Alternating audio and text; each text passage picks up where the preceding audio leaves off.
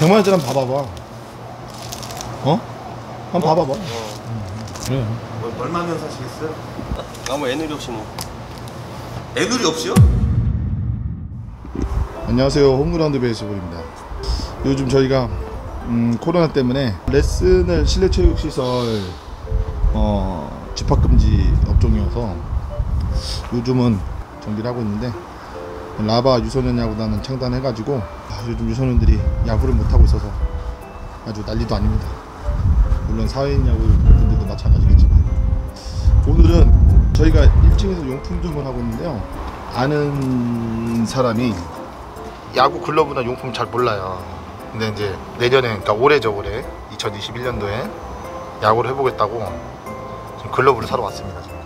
글러브를 잘 모르는 사람이에요. 근데 근데 오늘 저희가 몰카로 저 친구를 어느 정도로 글러브를 모르는지 한번 가격을 한번 속여갖고 판매를 한번 해보겠습니다.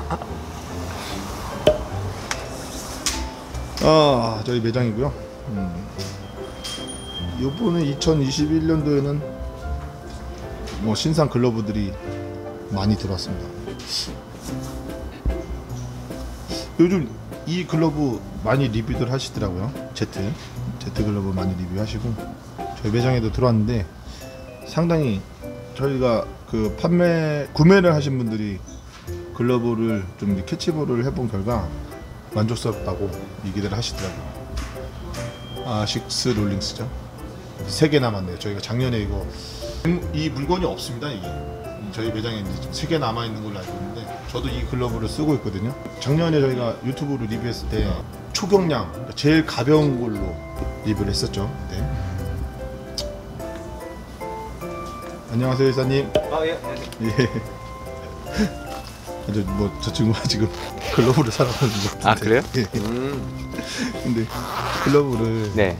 전혀 모르는 친구예요. 아, 잘 모르는구나. 예, 가격이나 이런 거다 모르는데. 음, 이사님 친구분? 예. 근데 제가 네. 글러브 사러 왔다 그래가지고 네. 네, 좀 몰카로 아, 몰카? 네, 네. 한번 찍어보려고. 어떻게 해요? 글러브 모, 모르신 분들 진짜 많잖아요. 음, 그렇죠. 뭐, 음. 예, 잘 아시는 분도 있지만 또, 또 의외로 또 모르시는 분도 있죠. 그리고 뭐 물론 이제 인터넷에 뭐 가격이 나와 있긴 한데 그렇죠. 실질적으로 뭐 그거 구매하려고 들어가면 또 없는 매물들도 많이 있고 아, 그렇죠. 그렇죠. 그런 것도 많죠. 그 선택들을 잘 못 하시는데 네. 우리가 이제 추천을 해주면서 네. 글러브 선택하실 때좀 음, 이렇게 뭐랄까 요즘 요즘 같은 때는 좀 눈탱이 맞지는 않잖아요. 그렇죠. 그렇죠. 예, 그렇죠. 근데 그래도 그런 거를 좀 글러브랑 이런 걸 좀 선별할 수 있게끔 저희가 한번 좀 도와드려 보고 음, 처음에는 네. 몰카 버전으로 음, 좀 세게 불러서 구매를 하는지 안 하는지 아, 네. 요즘 사람 요즘 세상에도 저런 사람이 있는지 한번 세게는 얼마나 보여야 되나? 뭐 예를 들어서 뭐한 한 3, 40만 원 더 붙여서 하면은 아, 그 예, 판매 가게에서? 예, 그러면은 그 사람이 만약에 저것까지도 속는다 하면은 네. 진짜 이런 경험들이 있을 수도 있잖아요 사실 뭐 아예 없을 수는 없지만 그래도. 근데, 아, 그렇죠. 음, 몰카니까. 예. 그리고 또 중고 중고 글러브로 그런 사기당한 사람 많이 음, 있잖아요 중고는. 또 특히 또 그럴 수는 그렇죠. 있죠. 예.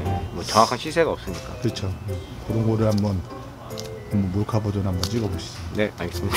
저는 이따 가겠습니다 네, 네. 예. 글러브를 살 때 처음에 하신 분들은 특성이나 이런 거잘 모르시잖아요. 그렇기 때문에 뭐랄까 이제 지- 보통 대부분이 이제 지인의 추천으로 이렇게 구매를 하시거나 하는데 사실 이 새 글러브를 가서 껴보고 이렇게 판단하기는 되게 힘들어요. 근데 이런 리뷰들을 좀 그 많이 보시고 보시고 그리고 한번 또 착용도 한번 해보시고 하면서 글러브를 선택하시는 게 좋을 것 같아요. 왜냐면 글러브가 상당히 고가가 많습니다. 뭐 물론 뭐 저렴하고 가성비 좋은 글러브도 있겠지만은 상당히 고가가 많습니다. 자 한번 슬슬 하다 한번 몰카를 찍어 보겠습니다.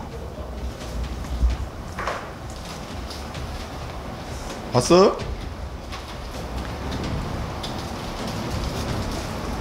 봤어?